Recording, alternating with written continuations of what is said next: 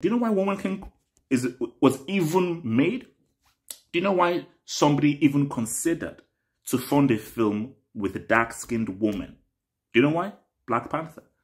If Black Panther did not succeed, there is no chance in hell any studio is bankrolling a film starring dark-skinned women. And the only chance we're going to get of having the story of the Haitian people, story of the Benin Empire, story of the Abyssinian Empire, story of the Zulus, the only way we can have that happen, maybe the real history of the Congolese, the history of what the Belgians did to the Congolese, the only way we can have these stories told is if this does well.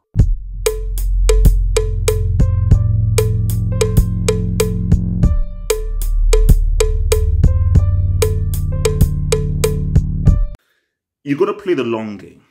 You got to play the long game. So let me just tell you the whole tra trajectory. When I first saw The Woman King, I follow Viola Davis on Instagram. She is, I believe she's one of the best actors in the world. Currently, she's one of the best actors in the world. So anything she's doing, I'm going there. For me, I just think she is an outstanding, outstanding actor. You know, so I don't, I don't for me, I don't put like actor, actress. For me, I put Viola Davis right now in the same category as a Joaquin Phoenix, as a Denzel, and those. I, mean, I feel the best actors right now in terms of just like bang for your buck, where you know they're going to deliver. Joaquin Phoenix, Denzel, Viola Davis. I think those are pretty much like them. Those, those are the only guys who I say no. You go to any films with these people, they're going to say what's up. Oh, no, of course, Gary Oldman, like Gary Oldman, like, stand up. You know, Gary Oldman is, is that guy. So I was like, oh, one woman king up there, I'm there, I'm there, I'm there, I'm there, I'm there, I'm there. And it comes out on my on my birthday, you know where I am. So then I then hear boycott woman king. I was like, oh god, what is this whole stuff? Then you then see that, oh, the Dahomey kingdom or the Dahomey wars, they were involved in the slave trade of trying to capture Africans to pretty much sell them off um, to Europeans because, you know, it was during the time it was profitable to pretty much you know sell off slaves and you, you, you get something in exchange of, of selling off these um, slaves. So people say, no, no, you have to boycott this because they don't address this. They're trying to Hollywood dies the whole story and just Disneyfy it and so forth. And I was like, okay, I mean, um, fine, man. I mean, yeah, th that's and and when I heard that, I was like, okay, yeah, that's that's pretty crazy. If you don't even address that, that's pretty crazy. And this is why it's very important just not to read stuff on the internet. If they never addressed this, I'm like, okay, now that's that's just messed up. Now, I haven't seen the movie, but I've seen interviews because I just watched an interview with the filmmakers and I said, no, they do address it. Now, how they address it, we'll go and see. See, if they didn't address it, I wouldn't even go on and watch it. say, no, that's messed up. Now, the fact that they addressed it, I'm like, good. Let me now make up my mind as a viewer to see when I go and watch it, how they address it, and then I'll then say, well, I know you addressed it, but you could have addressed it this way, you could address it this way, but let's but let's me go and actually make make it up myself rather than just going via this whole oh boycott boycott boycott when you're giving misinformation that that says that they didn't address it. Put that to one side. Even if they don't address it properly. Black people you gotta play the long game. You gotta be wise. This film has to succeed. Because how are we going to hear the story about the Edo King Kingdom? How are you going to hear the story about? Because I was reading about, I think there's, because I'm from Nigeria. So that's, so, so, so from my dad's side, my dad is from Benin. And that is where like the Benin, Edo, King, the Edo people come from. So the, the, the Benin kingdom, which is where my dad is from, that's where his tribe is from. Those are the guys who uh, had the bronze carvings and had a massive empire in Benin. So how do we hear stories about the Benin King, King Kingdom if this film doesn't do well? How do we hear stories about a safe haven against slaves that I think was in one of the places of Abeokuta, which is a place in Nigeria as well. How do we hear about the Abyssinian King Kingdom? How do we hear stories about the Zulu tribe? Not just that bomb Zulu film that's with Michael Caine, but the actual Zulu people and their kings. How do we hear these stories if this doesn't do well? So this needs to do well so we can hear more African stories about African kings, African kingdoms. How, if this doesn't do well, how do we hear the story of when the Haitians successfully rose up and fought against those that tried to enslave them. I think that was the only kind of su successful um, deterrent against um, slavery, where was the Haitian uprising, something I found out reading Malcolm X's autobiography. If this doesn't do well, how do we get those stories? The reason, do you know why Woman King is was even made? Do you know why somebody even considered to fund a film with a dark-skinned woman? Do you know why? Black Panther.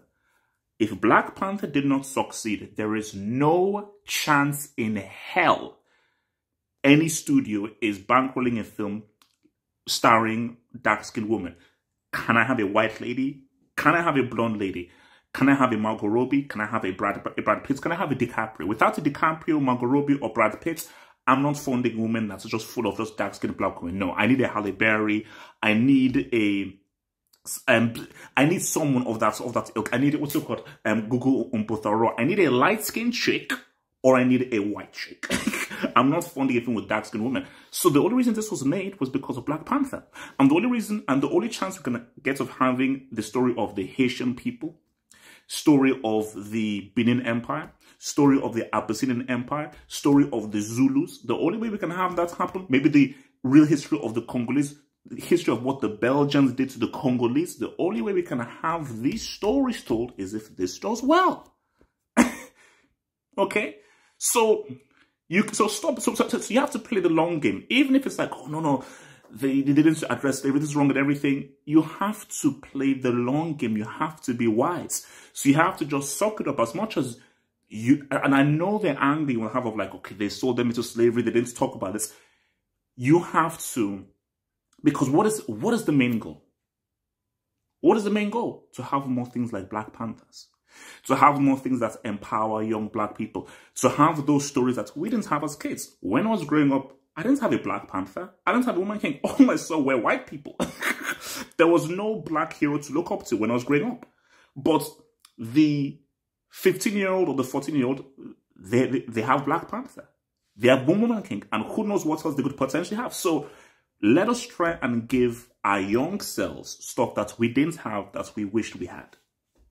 you know, you've got to play the long game, guys. You have to play the freaking long game, which is why because this comes out on my birthday where I am, and of course I'm going to go and see it. Now, I may have critics as to how you could have delved in more to how Africans or other Africans into the slave trade. You could have really embellished that a, a, a bit more. And who knows? Because I don't, because let me see what they say and I'll fully critique it.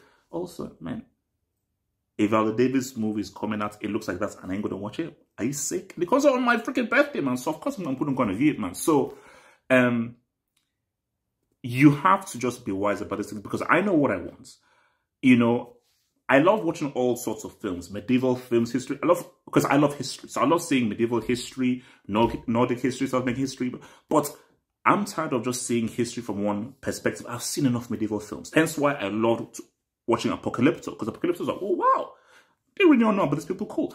I want to see the history of the Aborigines. Forget that Australia crap and so forth. I want to see the history of the Aboriginal people. I want to see more Chinese history, more, more Japanese history, more the history, but specifically, I want to see more history about the continent that I'm from. You know, my dream, if I ever had my dream is to do an epic story about the Benin Kingdom, the rise and fall of the Benin Kingdom from its inception to the different kings to how it's felt. That's, that is my dream project to do That's a Benin Kingdom story. Um, but beyond that, Abyssinians, the Haitians, the Zulus, all the people in Africa, Egypt, Egypt, ancient Egypt, that doesn't have white people tanning their freaking skin, man. So, yeah, man, you've got to play the long game, guys.